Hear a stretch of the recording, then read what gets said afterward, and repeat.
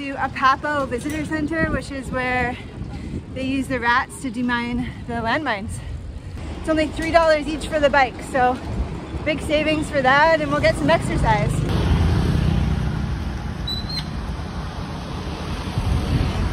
Right, We're at, we are at a Popo Humanitarian Aid Center, which stands for Anti-Persoonsmijnen Ontmijnende Product Ontwikkeling.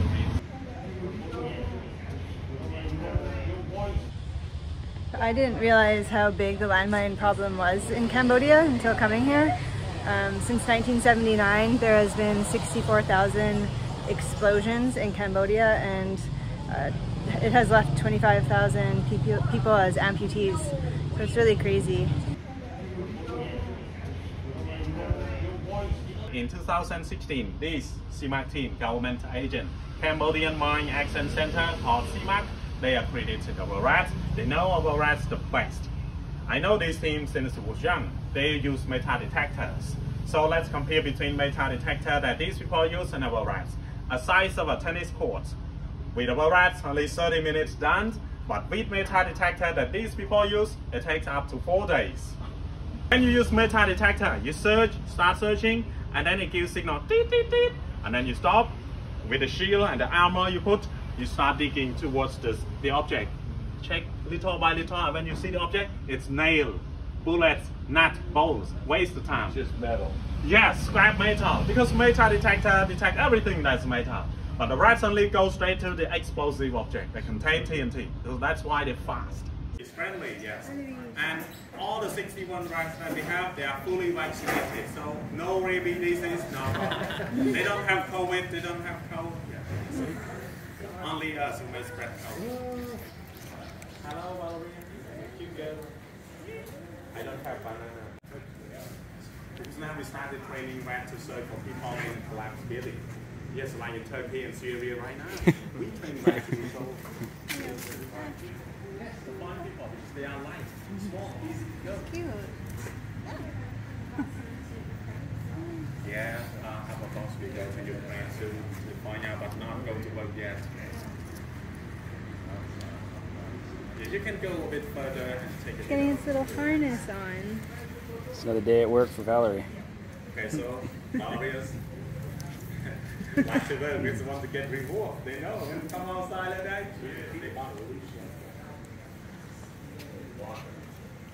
Their rewards are, are mainly bananas when they when they smell the TNT. Yes, four bags and four bags and four big guys. So now you can see that T8 and 10 It's back click and then reward banana. Yum yum.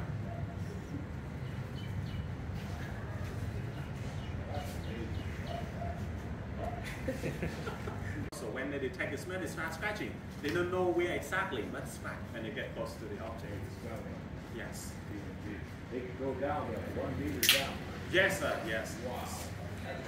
They can detect one trillion of gram of TNT and one liter liter gram. Yes. You know, just back close to the object, we know that is the place. With the dog, you know, you're not. These are weird little guys, eh? right? But the rats, okay. I heard the guy saying before they have to sunscreen their ears when they go work. It's kind of funny because they're bright pink. They have yellow teeth. He likes the chin rubs, or she likes the chin rubs.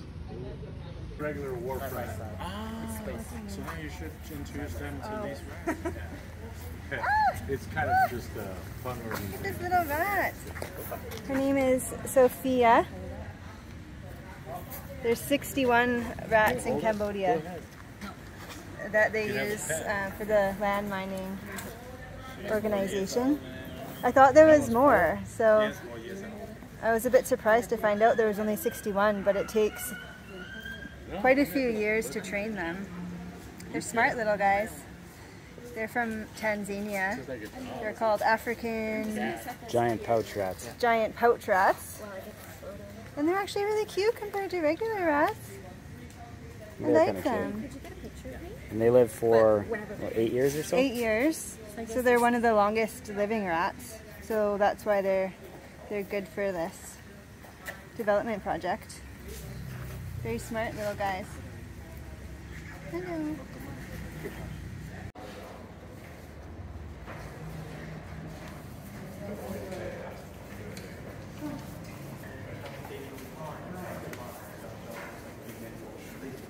So these are some of the landmines that the uh, rats have been recovering.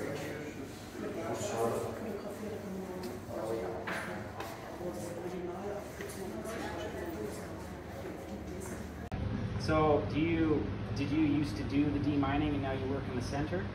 Or what do you do here exactly? Um, I didn't work as a deminer before. I work as a tour leader and tour guide. Okay. But uh, with the tour company, we raised funds to support this NGO already before. So I know this NGO already. So during COVID, I lost the job. I left this city and just come back and got a job here. We know this place already. It's a cool job. Yeah, so here it's like a fundraising center, center and we spread awareness to many people. Yes, that is a good thing. Sweet. And if people want to help, how can we how can we contribute to this? Do you have like a donation link or? Yes, if you would like to do so, yeah, thank you so much. You can go to our website, apopo.org. You can make donation monthly or yearly, and also you can adopt our hero rat. You can adopting hero rat. You can do it now or buy online. Yes, you can. Just please go to apopo.org. Okay, sweet. If anyone wants to adopt a rat, we'll be putting a link below, and you can check it out and see the rest of our video. I'll go Okay. through and you'll see some of them at work. Anyway, Okay. thank you. Thank you. Thank you. I'm good. Oh, good. Oh, good.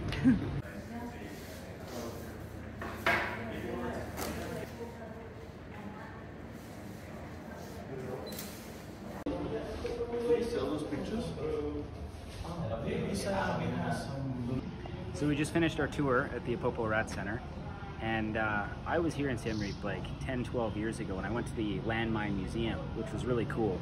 And that guy there works for CMAC, which is another organization that works with these guys.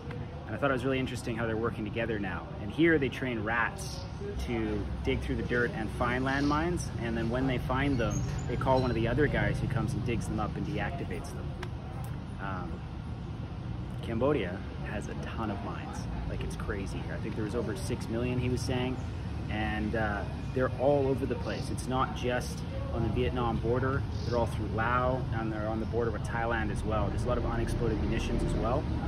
And uh, I didn't really get that. We were talking to our guide here, and he's saying most of them were placed by the Khmer Rouge during 1971 to 1998, and they were putting it in rural areas that separate the forests from the towns to protect their strongholds. And the town people would stay in the town, and the Khmer Rouge would stay in the forest, and that would prevent anyone from going in between and the government forces from attacking. Super interesting, but they were mining their own country. But now that farmers and villagers, they want to expand their villages, clear some forests for land and farming, they're stepping on mines, or cows are stepping on anti-tank mines, and lots of people are losing legs and stuff, and it's just a crazy situation. So it's good to see that they're doing something like a little smarter, because the old way of clearing with the metal detectors just takes so long, it's not really practical to be mined here for centuries. But it looks like this is actually working, so it's really interesting. And uh, I like, it's good to see. It's good to see they're making some progress in the decades since I was here.